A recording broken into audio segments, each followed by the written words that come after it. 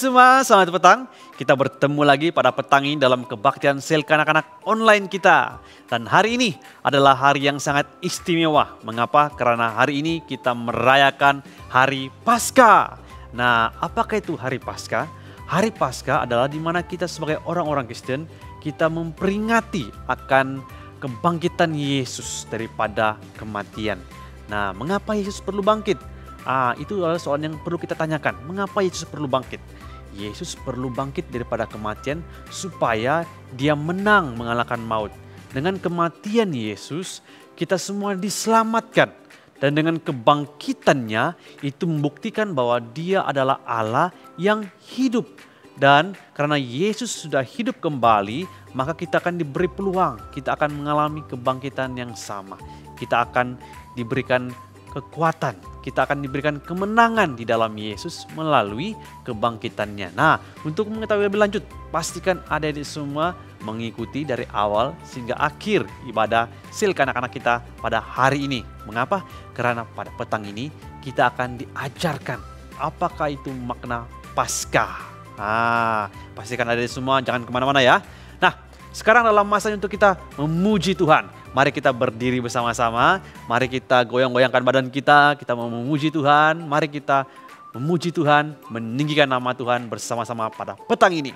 Jom! Hai adik-adik, selamat petang. Oke, sekarang adalah waktunya untuk memuji Tuhan. Adik-adik yang sudah siap untuk puji Tuhan, katakan, Oh yes, yes, yes, yes, haleluya.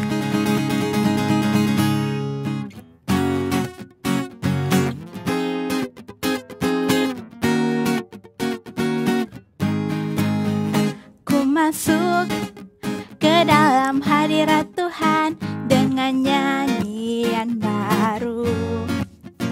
Membawa korban ucapan syukur bagi rajaku. Memuji, menyembah, berdoa. Menari melompat bagi Tuhan.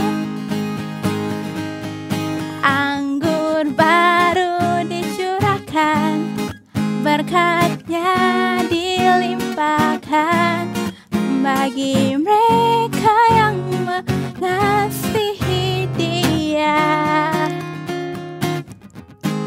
Damai sejahtera dia berikan Sukacita ku dapatkan Sebab engkau Allah sumber segalanya. Ku masuk ke dalam hadirat Tuhan Dengan nyanyian baru. Membawa korban ucapan syukur bagi rajaku memuji, memuji, menyembah, berdoa, menari, melompat bagi Tuhan. Anggur baru dicurahkan, berkatnya dilimpahkan bagi mereka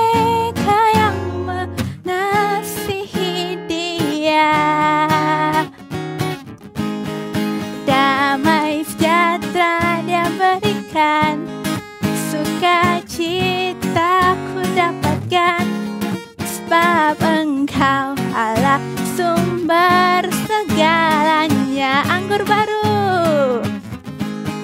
Anggur baru dicurahkan. Berkatnya dilimpahkan Bagi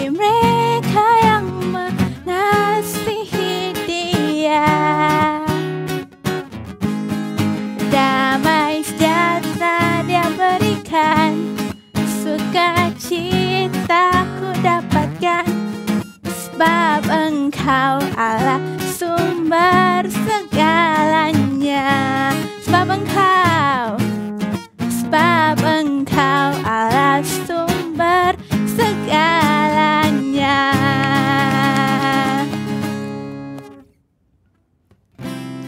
adik-adik kita siapkan hati kita untuk menyembah Tuhan bersama-sama. Kita masuk dalam hadirat Tuhan dan sembah Dia.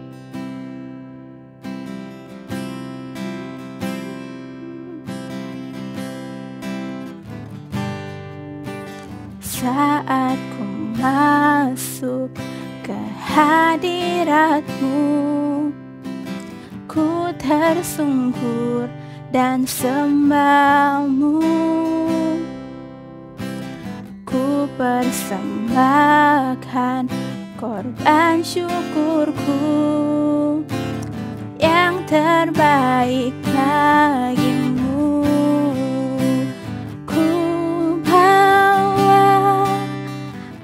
korban syukur. Ke tempat kudusmu Tuhan hatiku limpah dengan syukur sebab Tuhan baik. Oh sebab Tuhan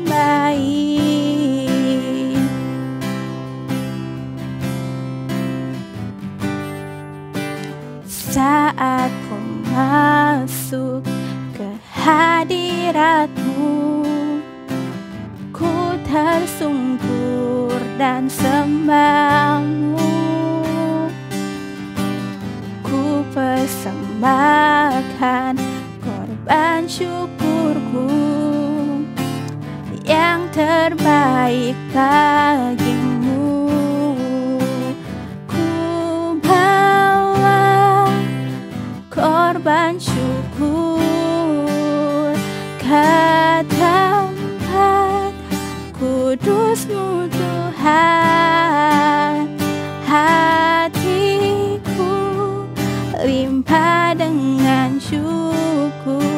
sebab Tuhan baik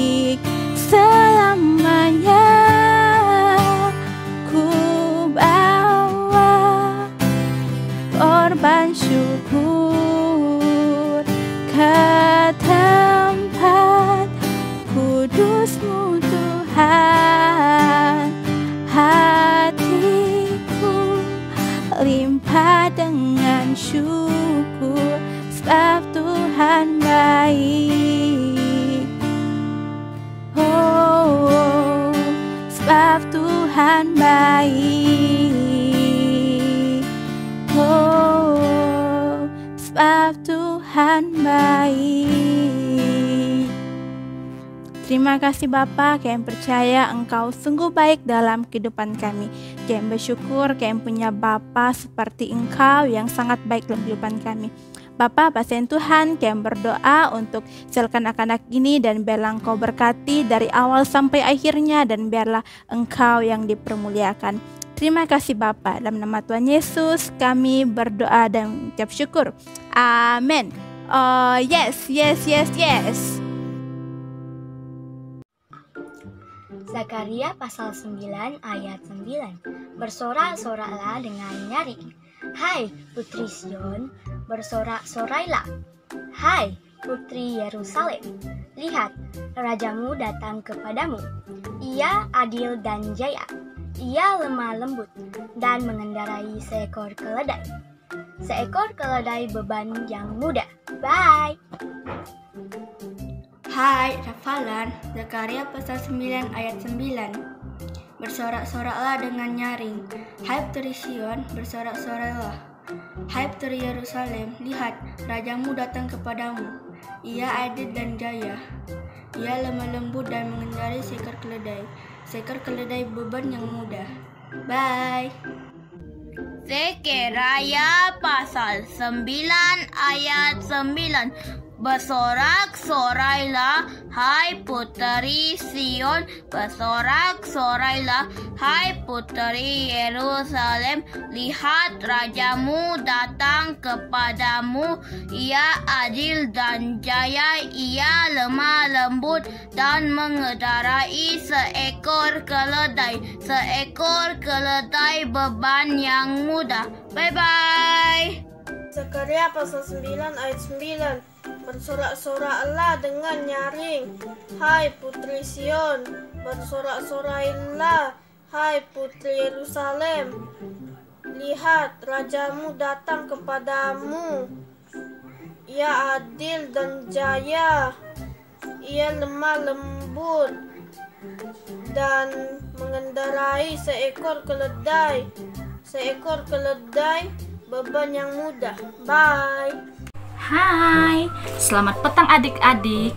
Hari ini merupakan perayaan Paskah kanak-kanak kita. Yeay. Oke, sebelum kita bercerita tentang Paskah, mari kita pikir-pikirkan. Apa itu Paskah? Adakah Paskah itu hanyalah sebuah cerita yang ada di dalam Alkitab? Hmm. Sebelum kita belajar lebih dalam lagi tentang pasca ini, mari kita melihat video seterusnya mengenai rakan-rakan kita tentang apa yang mereka pikirkan tentang pasca. Jom kita lihat. Ibun paham tentang pasca? Yesus telah bangkit karena dosa kita. Apa yang Jojo pikirkan tentang pasca? Apakah itu pasca? Pasca membangkitkan Tuhan Yesus. Apakah itu pasca? Yesus bangkit pada hari ketiga. Apakah itu Paskah? Yesus menang. Apakah itu Paskah? Yesus bangkit. Apakah itu Paskah? Paskah ialah Yesus bangkit daripada kematian. Dalam video tadi kita telah melihat tentang rakan-rakan kita, tentang apa yang mereka pikirkan dengan tentang Paskah dan apa yang mereka perkatakan semuanya itu adalah benar. Oke, so hari ini kita akan belajar tentang tiga makna Paskah yang sesungguhnya. Oke, yang pertama Paskah adalah tentang kebangkitan Tuhan Yesus. Oke. Oke. Mari kita cerita sedikit tentang kebangkitan Tuhan Yesus dan bagaimana Tuhan Yesus itu bangkit. Oke, okay? pada tiga hari yang lalu, di mana kita memperingati tentang kematian Tuhan Yesus adalah pada hari Jumat Agung. Oke, okay? Yesus mati di atas kayu salib dan dia dikuburkan. Dan pada hari yang ketiga, yaitu pada hari ini, pada hari Paskah, Yesus itu telah bangkit. Kita memperingati tentang kebangkitan Tuhan Yesus pada hari Paskah. Makna Paskah yang kedua adalah tentang kemenangan Yesus ke atas maut.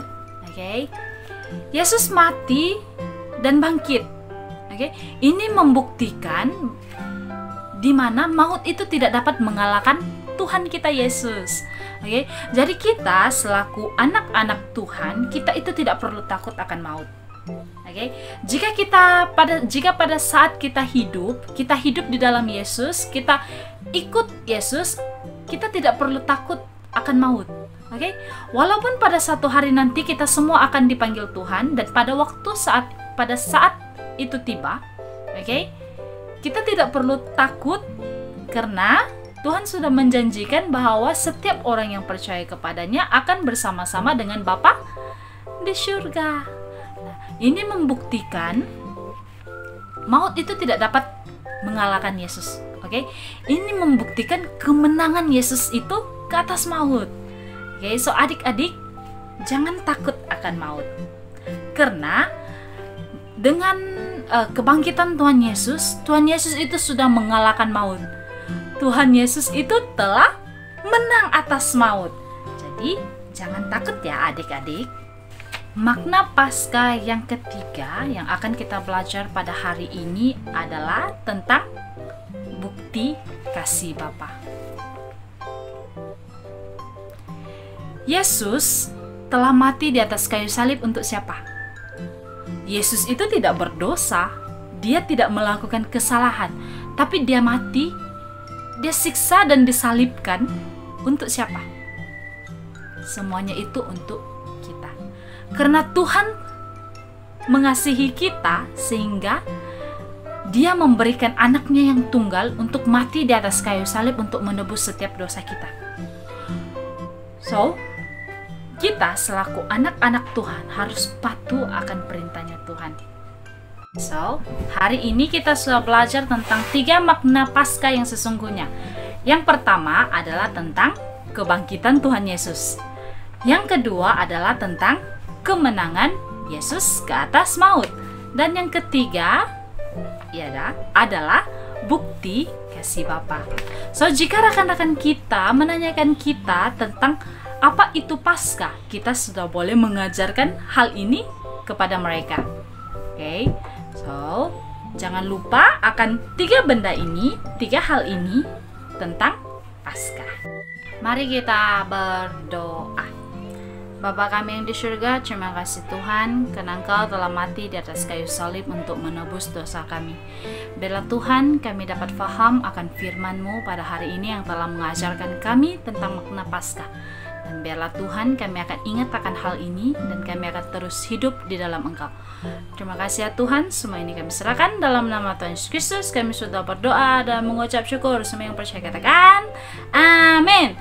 Oh yes, yes, yes, yes. Karena hari ini adalah hari Paskah kanak-kanak kita, oke, okay, kakak akan adakan tiga kontes, oke. Okay? Dan setiap kontes kakak akan cari dua pemenang, oke. Okay? Maksudnya hari ini kita akan mencari enam pemenang, oke. Okay? Dan kakak akan berikan kamu hadiah, oke. Okay? Oke, ingat ya, satu kontes, dua pemenang. Oke, kontes yang pertama adalah kakak akan menanyakan kamu satu soalan dan kamu harus menjawab dengan cepat dan pantas. Oke, sendkan jawaban kamu di nomor yang kakak akan tunjukkan pada akhir video nanti.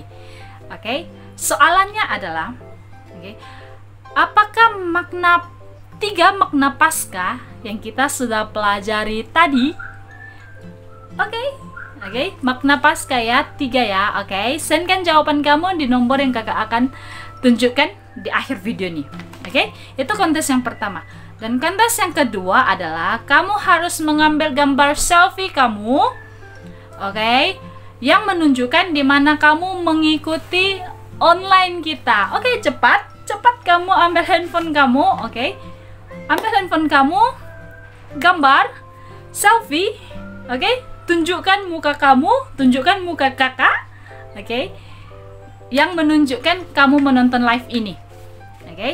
Dan gambar yang ketiga, oke, okay, eh, oh ya, gambar itu kamu juga perlu send di um, nomor yang akan kakak tunjukkan nanti, oke. Okay? Dan yang kontes yang ketiga adalah Oke, okay.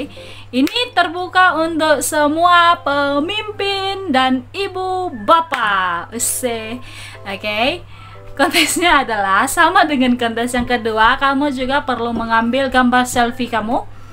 Oke, okay, gambar selfie kamu yang menunjukkan kamu mengikuti live ini. Kamu tidak kira lah di Facebook kah atau di YouTube. Oke, okay? Kamu harus buktikan yang kamu mengikuti live.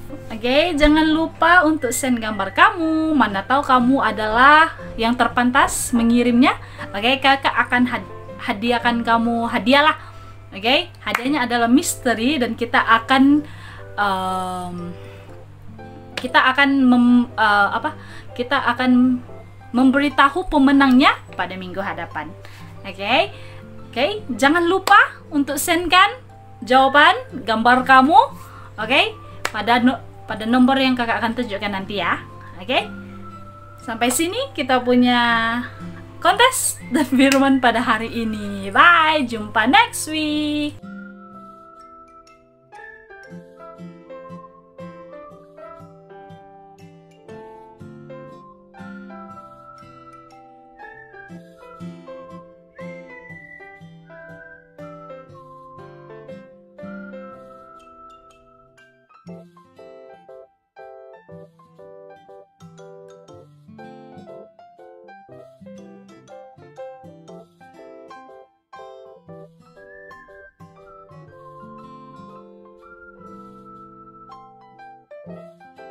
Nah, adik-adik semua, macam mana firman Tuhan tadi?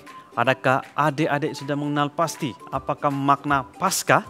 Ah, pasti adik-adik sudah belajar tiga hal yang sudah diajarkan oleh Kak Amalia. Dan bagaimana pula dengan kuis tadi? Nah, tadi di permulaan kita tidak ada icebreaker. Nah, yang tadi kuis itulah icebreaker kita. Pastikan adik-adik menjawab dengan betul, karena yang menjawab dengan betul kamu akan diberikan hadiah istimewa. Nah, pastikan semuanya menjawab dan yang sudah menjawab dengan baik, nama kamu akan dicatat dan hadiah akan diberikan kepada kamu. Pastikan kamu semua menanti dengan baik. Kamu tunggu saja di rumah, kamu akan diberikan hadiah kamu. Oke. Nah, kita sudah sampai pada penghujung perayaan Paskah kita pada hari ini. Pastikan adik-adik semua dalam keadaan yang baik. Bagi adik-adik yang belum mengikuti kelompok sel, kamu boleh hubungi kami, hubungi Kak Junita ataupun Abang Denny dan kami akan aturkan kelompok sel yang mana kamu boleh ikuti bersama-sama. Kebaktian sel kanak-kanak kita akan bersambung pada minggu hadapan di mana kita akan belajar lagi dengan siri pelajaran kita yang sebelum ini di mana kita dapat mengenal apakah Alkitab. Oke, adik semua. Baiklah, kita jumpa minggu hadapan. Tuhan Yesus memberkati. Bye bye.